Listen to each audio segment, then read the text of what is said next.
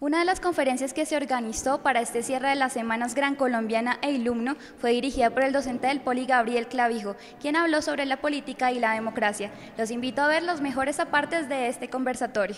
Que nosotros no entendemos que los políticos están para servirnos a nosotros. Nosotros somos los jefes de ellos. Y como nosotros los elegimos, también los podemos echar. ¿O no? Claro que sí.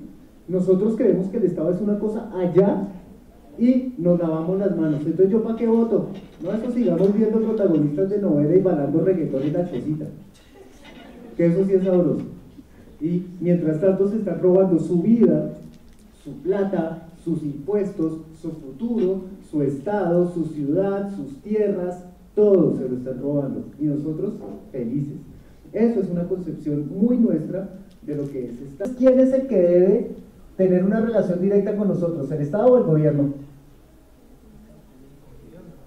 El gobierno, porque es el que nos maneja. Esa es la decidida del colombiano. ¿Para qué hago? ¿Para qué me quejo? ¿De qué sirve? Me voy a quedar en la cómoda, quejándome, ¿no, viejo? Dentro de nuestra construcción de Estado, no hubo nunca la posibilidad de la expresión de nosotros como ciudadanía. Eso que estamos viviendo ahora, todos estos problemas, no es de hoy, no es de Santos, no es de Uribe, son 200 y 300 años históricos. ¿Sí? Por nuestra propia identificación, como nosotros nos vemos. Cuando salgan, tal vez a América Latina, van a darse cuenta que otros países tienen una concepción muy diferente de lo público. De esta conferencia podemos concluir que el pueblo debe participar activamente de las decisiones que tome el gobierno, puesto que de estas depende el bienestar de la ciudadanía.